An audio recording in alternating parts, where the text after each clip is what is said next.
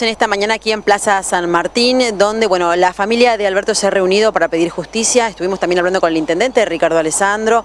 Eh, bueno, solo quiero que me cuentes un poco cuál es la situación ahora de, tu hermano, en qué estado se encuentra.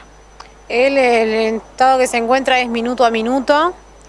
De su riesgo de vida es muy alto. Eh, la amputación de pierna están tratando, pero ya nos dijeron que es un 98% la amputación ya es, nos tenemos que resignar que esa pierna no va a estar, lo que nos estamos resignándonos a que él siga con vida, de que él esté con nosotros, de que la familia está para ayudarlo, escucharlo, lo vamos a contener, de que lo que nosotros queremos que no suceda más estos casos.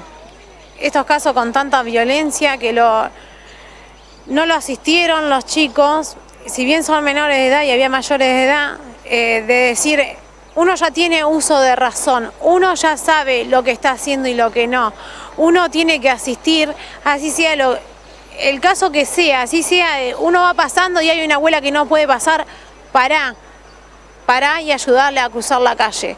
Lo que nosotros queremos es justicia por nuestro hermano. Eh, ante todo, eh, de que él esté bien, pero estos chicos no, no pueden quedar impunes de, que recibimos amenaza a través de Facebook, eh, Instagram, entonces de decir que estamos pasando por un dolor, estamos tratando de, contenernos porque tenemos hijos, por cual nuestros hijos también nos necesitan el día a día y de tratar de darle todo lo positivo a nuestro hermano y que estas personas que se tomen el tiempo en vez de decir una disculpa, ¿cómo está? De decir tantas cosas por redes sociales de que ya está, ya lo hiciste, no, no sigas así, cambia un poquito. que, eh, además de todo esto y del accidente y de lo que fue esta situación, ¿no? Eh, como bien decís vos, ni siquiera lo ayudaron luego de, haberlo impactado. Eh, este abandono que realizaron, además recibieron ustedes amenazas a través de redes sociales. Sí, amenazas fueron constantes. Lo que a nosotros no nos preocupa es una simple escritura, eh, es una simple amenaza, pero ponete en el lugar de que nosotros estamos viviendo un dolor, no nos ponemos, eh, digamos, eh, en la pelotudez de decir qué estás escribiendo, qué estás diciendo. Nosotros nos estamos poniéndonos de decir cómo contenemos a nuestra madre, cómo ayudar a nuestro hermano, qué podemos hacer y no tenemos mucho alcance para hacer. Está en el alcance de médico y de Dios. digamos, esta gente no puede decir, eh, fíjate qué está haciendo tu hijo, si tiene 16 años y es una criatura, ¿qué está haciendo las redes sociales? ¿Por qué no le enseñan a la criatura de decir a los adolescentes, hiciste un accidente, hiciste esto? Hay que aprender a decirle a los chicos de hacerse cargo cada cual de su vida. De decir, no podrían haber dejado sin tan... Se volvieron tan solo por una gorra y esa vida... Hicieron abandono de persona todos los chicos. No fue tan solo el que le atropelló. Ninguna familia se acercó a hablar a nosotros de decir, eh, ¿cómo está? No preguntan, no cómo estamos nosotros, ¿cómo está él? Él está, eh, está viviendo el minuto a minuto. Nosotros le rogamos a Dios y a toda la gente las oraciones de decir eh, de que nosotros ya nos resignamos de que su pierna ya no va a estar que el fiscal se ponga, el fiscal que se ponga a deposición y que haga algo porque estamos en la justicia. El fiscal es el que tiene que agarrar y poner ya la orden de allanamiento, ya. Vamos a pedir justicia ahí también por Alberto. ¿Qué, pasa con, Alberto y qué, qué, pasaba con él? Digo, a esa, esa, ¿Eso fue a más o menos a qué hora? Eh, eso fue 3.35 de la madrugada. Él cruzaba, digo, la ruta, se ve en las imágenes, solamente...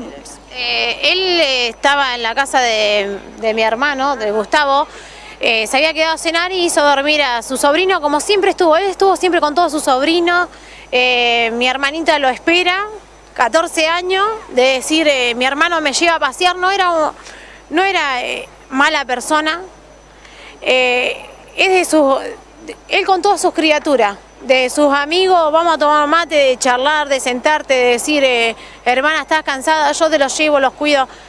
Una excelente persona. Eh, Él venía de la casa de mi hermano, de hacer dormir a su sobrino, de tomar unos mates, compartir una cena, se iba a su hogar a descansar. Y le pasa, eh, digamos, esta desgracia que pasa por que no toman conciencia que son picadas ilegales, querés jugar, eh, tenemos el circuito, anda ahí, no lastimé a una persona, no andemos así, eh, la vía pública.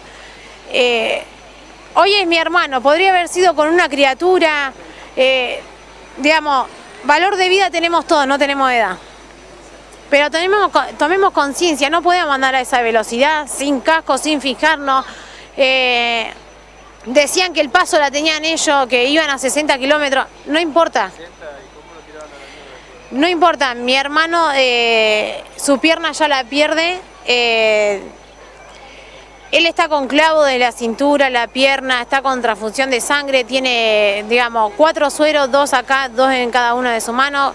Eh, son cuatro pinchazos y ocho sueros. Una, una transfusión de sangre constantemente, como recibe la sangre, se, le está yéndole, la hemorragia no para. Entonces también estamos necesitando donadores de sangre.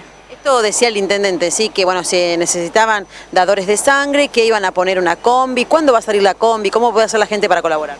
La combi tenemos, eh, digamos, la gente tiene que ir con, eh, con una, eh, digamos, desayunado, pero es una galletita con un té. No pueden tomar lo que es lácteos ni tampoco grasa.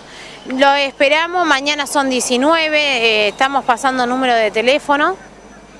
Tomamos los datos, eh, a las 4 de la madrugada estaría saliendo la combi desde la guardia del hospital. Eh, el señor intendente nos ayuda con la combi, nosotros ahora eh, se nos está haciendo muy difícil los gastos, nos sale 35 mil pesos la noche para que mi mamá tenga una hospedía, es una mujer de 53 años. Ahora casualmente está mi hermano mayor, pero si no ella, pobrecita, está sola, eh, vamos y venimos, pero nosotros eh, para mover nuestro auto e ir cinco personas necesitamos 40 mil pesos de, combustible. ¿Dónde está trasladado él? Eh, Monte Grande. Monte Grande. Esteban Echeverri. ahí está, digamos, internado en la pieza número 4. los horarios de visita nos dejan entrar verlo y, digamos, verlo y no... ¿Está, en terapia él? Él está en terapia, está en terapia intensiva, eh, él está con respirador, eh, él, digamos, está, está dormido, lo tienen sedado constantemente y ahora viene la amputación de esa pierna, de que no es decir, no es joda.